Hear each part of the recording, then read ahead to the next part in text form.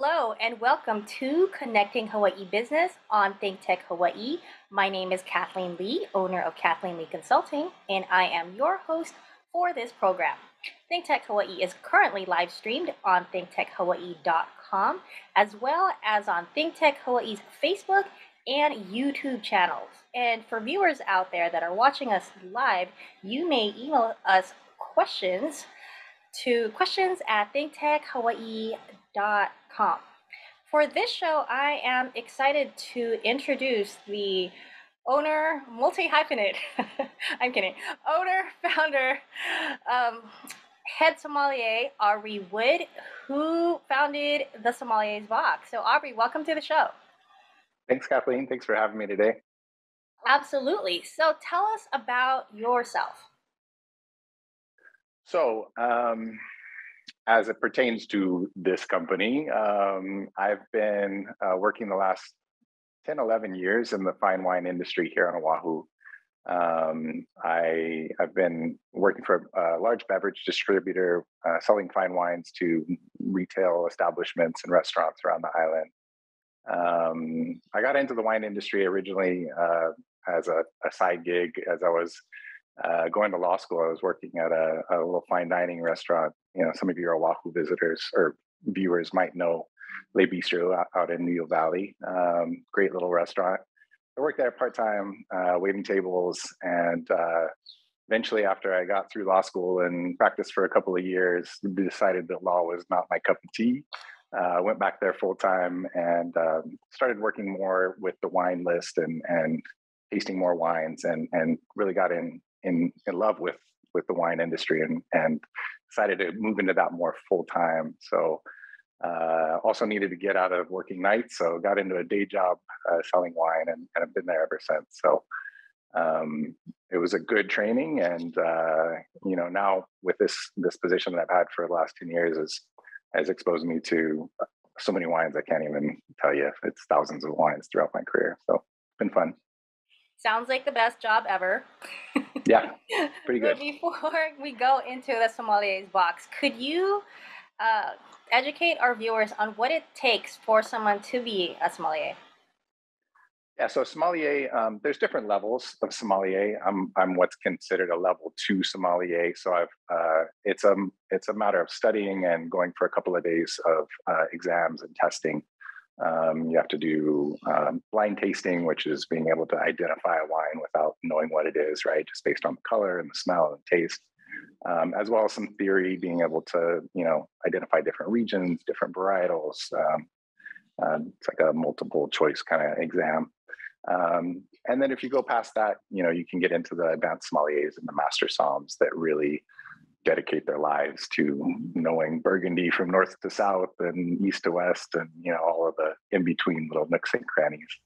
Uh, I never felt that I needed that much, but uh, you know, working in the industry for for as many years as I have uh, allowed me to get the kind of knowledge that um, not a lot of people get to have.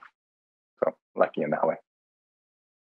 That's wonderful. So let's yeah. let's get into your business, the Sommelier's Box. When we yeah. talked previous to the show, you mentioned that you started this last year, and last year was we were in the midst of a pandemic. I mean, we still are, but I yeah. would love for you to go over how you started out. Like, where did the idea come from and where is it now? Yeah, actually, you know, the the original sort of genesis of the idea started even before the pandemic hit. It was uh, early 2019, um, and I was hanging out with a friend of mine, uh, this guy Seth Cripe, who's a winemaker, great little winery in in Napa uh, named Lola. Um, and he was mentioning, we were just chatting, and he said, you know, I get this monthly wine subscription from this buddy of mine who's a sommelier, and it was like the light bulb went off. I was like, wow, that's a brilliant idea because nobody had really been doing that here uh, in Hawaii. Like I'd, I'd, never heard of anybody uh, offering a monthly subscription box to, to local residents. Um, so that was sort of the genesis of the idea. Um, and then it really, as the more I thought about it and started, you know, brainstorming it, it really solved some of the problems and the issues that I had had with the way wine was sold to average consumers, your, your retail stores here on Oahu. Um, and I thought maybe I could I could fix some of those problems because there's there's some great independent retailers out there. Um, you know, some little ones that are fantastic little boutique neighborhood stores. You know, but a lot of people that go shopping at either the grocery store or some of the bigger, you know, you know the names, the tours and the, things like that. Um, it, can be hard to find something special and unique and feel confident in what you're getting. And unfortunately, a lot of the, the, the staff there don't get the opportunity to taste a lot of the wines that they're selling. So they might have a lot of great wine knowledge in general, but you know, if you're asking them about a specific wine, it might it's a hit or miss whether they know anything about it. So that was one of the issues that I kept running up against. Um, and then also from from the other side of of being a, a distributor, I knew that there were tons of delicious wines that really I couldn't get into people's hands very easily. Um, a lot of retailers are very reticent to pick up something that's off the beaten path. You know, if it if it's not the right varietal or from the right region, you know, if it's too weird or too unknown, a lot of times those wines just end up sitting on the shelf, right? And so retailers don't want to bring them in, and even if they do, they don't sell. So even though I knew, as someone who had tasted the wines, that they're fantastic, I knew that your average consumer had no idea what was sitting on the shelf there. So, you know, all of these little bits and pieces kind of added up, and I figured, you know, if I can do this plus add the convenience of shipping it to somebody's house or their business or office um, and getting wines that I know are great into people's homes and into their glasses, you know, this could actually be something that maybe people would would respond to. Um, and I th- and I think so far they have. So you know, I'm pretty happy with with the way it's turned out. Yeah. So Aubrey, where do you you talk about you touched upon these different types of wines. Like where do you mm-hmm. source them from and, and how do you go about it? Is it just um you do local wines, national wines, like wines from all over the world? Like how do yeah. you decide? Well, I decide by tasting them is the first part, right? Best job um, ever. it's yeah, it's not a bad gig. Um, but you know, the wines for me, the wines first and foremost, they have to be delicious. So I, I taste everything before it goes into one of my boxes. Um, but as far as where the wines come from, really, it's it's all over the world. Um, you know, it's it can be domestic wines, it can be you know European wines, Italian, French um, wines from Australia. It really doesn't matter to me where they come from. Um, my biggest thing is I, don't I don't need to sell you a wine that you can find at the grocery store or at the, the, the market, the big name stuff. Like those wines, some of them are great, some of them are okay, but they all sell well enough on their own. Um, I'm really looking for those those little special bottles that are made by small producers in really boutique, sort of handcrafted ways um, that don't have the big, you know, critical scores and acclaim and the the big names behind them. So, you know, those wines you can find them and they're fine. Go buy them if you love them. That's that's great. But I wanted to really uh, make a platform for these smaller producers that that really do an amazing job with their wines to have an outlet to the market and and really have be able to give access to those wines to the Hawaii consumers. So, so that's where I'm coming from. Do you and I just thought about this. Do you find yourself to be in competition with like the, the retailers or you know hmm. the the specialty wine sellers um, here in the state? Not so much because you know, like I mentioned, um, I'm the wines that I'm usually buying and putting into my box are not the wines that the other stores are really looking for that often. Um, they're, you know, it's weird things. It's Garnacha Blanca and Pallagrello Nero and things you've never heard of, things that I have sometimes have never heard of. And I'm like, what is this? It's delicious. Um, but but that's what I want to do, right? Is is to to put those kind of interesting things. And the other part is because I have connections in the industry and I have friends at different distributors. Uh, you know, some of the wines, a lot of the wines actually that I'm bringing in are, are not in Hawaii yet. They're wines that are maybe carried by the parent company in California. Um, but uh, nobody's brought them into Hawaii. And I know as, as uh, from, my experience in it as a distributor, a lot of times we would taste wines like that and be like, this is great, but I can't sell it, right? Like who's going to buy it? Like, you know, maybe some of the great uh, restaurants, Asenias and La Vie's and things like that, you get a couple bottles on the list, but you know that doesn't help your your person that wants to buy a bottle and take it home, or or buy a bottle and take it to your friend's house for dinner. So that was really the the issue um, that I was seeing, and so being able to have those connections and say, hey, can we look at what your inventory is in California and bring things in that have never been in Hawaii before is a is a pretty fun part of the business too. Let's delve more into what the Sommeliers box offers. So mm-hmm. I um, I initially thought when I when I actually saw the wines that your business was posting on Instagram, just wanted to let everyone know on social yeah, media is a great platform for business. We're um, on there. I, yeah. right. So I thought it was just a subscription box, but it is, mm-hmm. it is not. Can Can you mm-hmm. tell us more about like the offerings that the yeah. box has? yes. in Hawaii? So the the initial focus and, and still my main focus is really that monthly subscription because I think it's the easiest way for people to access the wines and not have to do too much investigation on their own. But we do offer all of our wines are also available for sale on the website for individual purchase. So you can go there, you can buy one bottle, three bottles, eight bottles, and uh, a lot of people do take advantage of that um, opportunity. You know, and one of the nice things, uh, and I, I'm sure we'll get into the website later, is is there's a lot of information there for people to look at and check out and kind of figure out what they might like. So Great. And yeah, it, it, there's a lot of stuff. You have it on here that it's your company is offering free delivery to all of Oahu. Yep, absolutely. So, um, you know, we'll either deliver it, hand deliver it, um, or uh, put it in a FedEx and ship it out to you. Um, it's kind of depending on time and, and where you live and all that stuff. But yeah, we're we're trying to reduce the barriers to entry and uh, make it easier for people to sign up and, and get their wines. So, yeah. But if people do live on the neighbor islands, they that's still um, paid shipping, right? Yeah, yeah. Okay. We're uh, well, neighbor islands we're not actually shipping to yet. So there's there's you know we're a restricted industry. There's uh, liquor commissions and all of that. So that's something we haven't uh, tackled yet. But you know hopefully down the line we'll be able to ship to the neighbor islands as well. Let's let's go into that after the break because I feel like that may take more than a few minutes, which is what we have. So when sure. we come back, Aubrey, I would love for you to talk about some of the challenges that you ran into in building this business, um, especially during the time of a pandemic and with all the permitting that comes with it, and like where you are now and future plans as well. So we will be right back.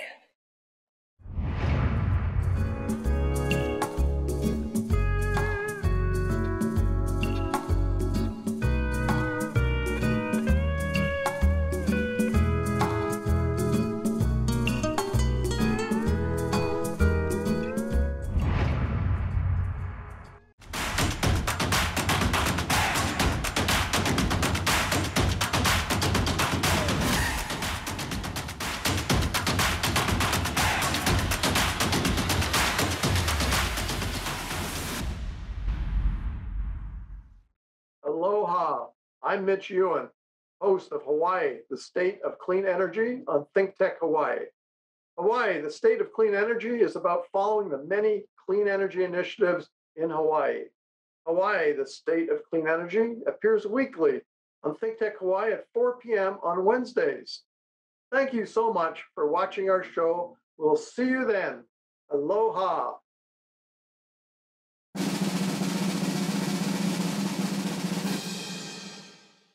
Welcome back to Connecting Hawaii Business on Think Tech Hawaii. Our guest for today is Aubrey Wood, owner of the Sommeliers Box. When we left off, we wanted to delve more into the challenges that he faced starting this wonderfully awesome business that is filling a niche um, in the state right now. So, Aubrey, what are some challenges that you came across? Um, during the pandemic or even just starting a, a business that involves things like permitting because it is you know yeah. it does require handling liquor. Yeah. Yeah there's, so there's a little more red tape uh, that goes into a business like a, um, a wine store or liquor store. Um, we you know needed to do all the permitting with uh, liquor commission. Um, we had to get zoning clearances and um, plots drawn drawn up of the the uh, our our office. So a lot of a lot of paperwork that went into that, um, and it did take a little longer, I think, than normal with COVID. There were some backlogs at the liquor commission and things like that. So, you know, they still tell you three to six months, and it was probably more like eight or nine before they got around to us. So definitely some challenges with uh, timetables on that end. Um, but other than that, you know, I, as I'm sure if, if any of your audience are entrepreneurs themselves or have started a business, there's there's always, especially with that first business, there's always a lot more that goes into it than you initially think there is. And, and it's not until you start digging into it that you realize, oh, I need to do that, and oh, I need to get this clearance, and now I need to do that. So so, you know, it was a fun process. You know, building a company is, it can be, if you don't take it too seriously, it could be a lot of fun um, or take yourself too seriously. So, so I had a good time with it. Um, yeah, definitely time, timetables you need to be forgiving on and, and allow it to, to happen as it happens, I guess.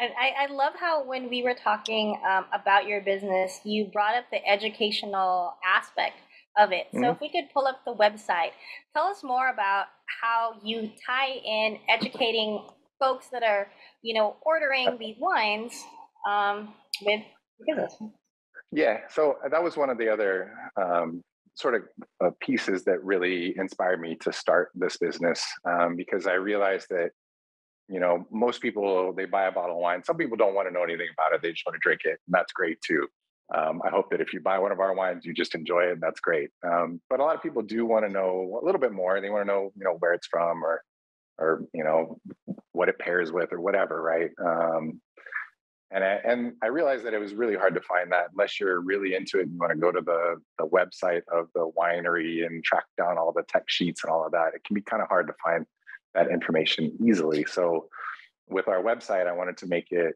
easily accessible. So every wine that we sell has its own its own page on our website with tasting notes. There's producer notes. There's um, information about the winemaking and how it was made, um, regions, some pictures, all of that good stuff. Um, so the idea there is that if you are interested, and especially if you're kind of new to wine and you want to know more about wines and sort of figure out what you like, what you don't like. You can go to the website and it's, you know, especially if you're getting one of our boxes, you go to the website, all of the wines that are in your box are right there. You can click on them, learn a little bit about them. And it's not, you know, it's not a 10 minute read. It's a couple, couple paragraphs that will give you the basics of, of what it is. Um, and that way you can learn a little bit about the wines. And, you know, if you start tasting the wines and you realize, okay, I like the, I that wine last month, and I liked this wine this month, and I liked that wine. Hey, guess what? They're all from Italy. Well, now you know you like Italian wines, right? Or you know they're all lighter bodied style, so you know you like lighter bodied red wines, whatever it is, right?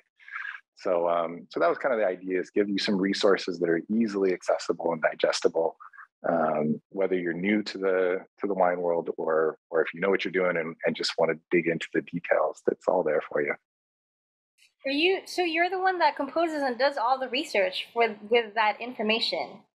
Yeah, so it's it's pulled from a number of different sources. Some of the a lot of the tasting notes are my own sort of uh, notes on how what I taste, but a lot of the you know technical details are pulled from pulled from those resources that you got to go dig for the the tech sheets and the winery info. And, and trust me, the domestic ones are pretty good, but some of those uh, import wineries are are hard to find information on. So try to make it easy for everybody. So, uh, do you have any like for for people who are watching and who may be watching this in the next couple of weeks? Are there? Do you have any mm-hmm. specials right now? Just just I do. So we're at the end of January now, and we've got Valentine's Day coming up. Um, so we I put together a little two pack box of wines, and I can grab show you here. Um, we usually do for special holidays. We did a box for Thanksgiving. We did a box for Chris, Christmas, holiday season, whatever.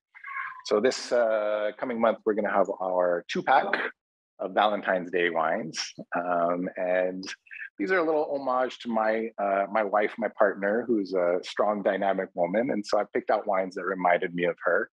Um, so this is pretty cool. This is a rosé of Mencia from northern Spain. Um, and uh, one of the reasons I thought about this is all of the proceeds for this wine go to charity.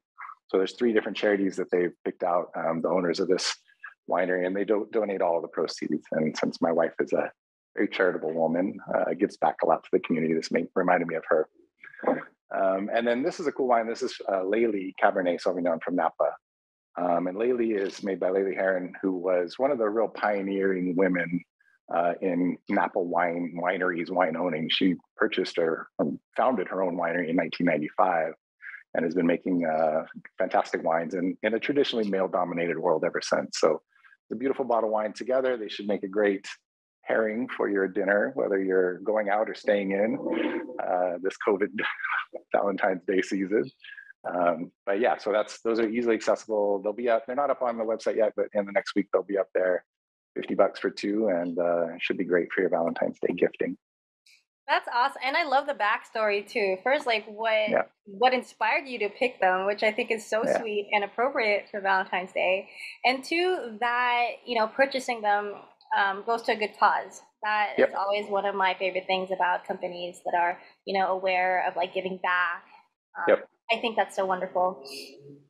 Do you have? Oh, sorry, I was going to ask for future plans, but before I ask, um, what are you kind of already mentioned some of them, but what are some lessons that you learned this year? Yeah, well, in the 2021, um, that was our, our launch year, right? So we, we launched in, in October. So, um, you know, there was a lot of learning about how to get a project over the finish line and, and get to opening. Um, there was a lot of learning around, you know, how do you strategize to to get your you know you open a company it's great but if nobody knows you're there it doesn't mean much right? So how to how to market how to get things um, this idea this concept out to the people. Um, so thank you for helping with that um, today. Uh, but yeah there was there was a lot of um, growth and learning and it's and it's fun to grow as a uh, as an entrepreneur uh, throughout that process right? You learn a lot about yourself and sort of things that that come easy and things that don't come easy and and growing in that way was was a lot of uh, fun and a lot of a, a big challenge but um, but I'm I'm I'm better because of it today let's put it that way. Um, and you know yeah as as far as like the marketing going back to that you know i had plans to do a lot of tastings and in store bring people in and and we all thought COVID was going to be done in June, and here we are, you know, January again. So, so there were some challenges around that too when it comes to coronavirus. But you know, you roll with the punches. What are you going to do? Yeah. Any future plans for um, your business?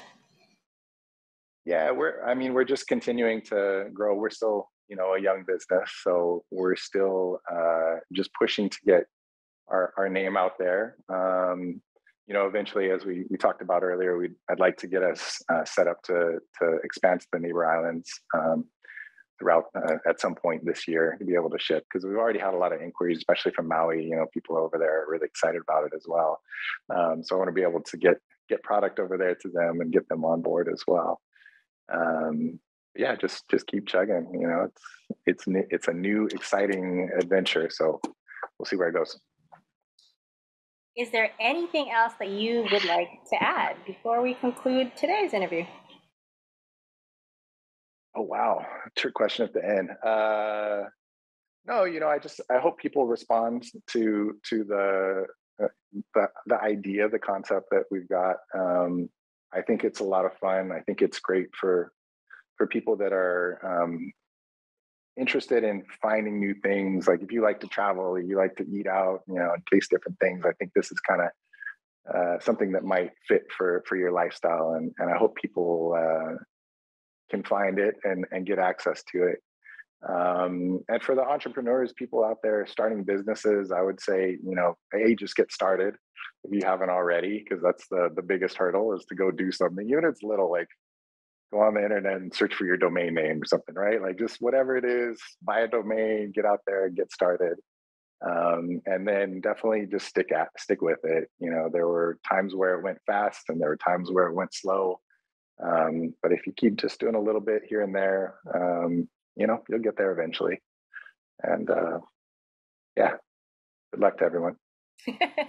Thanks, Aubrey. And let's pull up your website one last time. If sure. people would like to get a hold of you, how do they go about in doing that?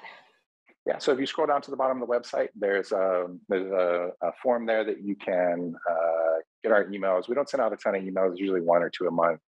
Um, and then the best way to follow us is probably on Instagram or Facebook. You can uh, find the links down there at the bottom of the page too, or you just find us at, at Sombox HI. Um, and we'll we'll be we post a lot of our I'm gonna put up all of the information on our wines up on uh, on social media, but you'll get some snippets here and there, and you can check out our past uh, months and see what we've been doing. So it's a good way to see get a flavor of, of uh, what you might expect from us. Well, thank you again for joining us, Aubrey. So Thank you. this today's show has been wonderful and educational. And for the viewers out there, to reiterate, today we had Aubrey Wood, owner, founder, head sommelier of the Sommelier's Box. Um, you can Yep. visit their website and there's a Valentine's special. I just want to point that out, only because it's coming up. And I'm like, I know people are thinking of like what to do. So thank Yeah, you for we'll make- letting us know about that. Thank you, Kathleen. Yeah, we'll make it easy. I'll drop it off at your house. No worries. Thanks, Aubrey. And again, if people visit your website, it is free delivery on Oahu. So You got thank it. you again. Thank you for your um, your good nature, your humor, and for sharing um, your knowledge to our viewers and um, entrepreneurs out there. And we also want to thank Jay Fidel and the entire staff at Think Tech Hawaii for making programs like this possible. Today we had Michael and Haley who helped us produce the show. So thank you so much. And until next time, aloha.